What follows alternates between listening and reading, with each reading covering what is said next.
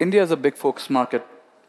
What is the difference between Indian consumers and the consumers outside India? Like, what are the unique traits of Indian consumers, especially when it comes to buying hardware? And, and you can talk about not just your nothing experience, but also your OnePlus experience. Like, what are the insights that are counterintuitive?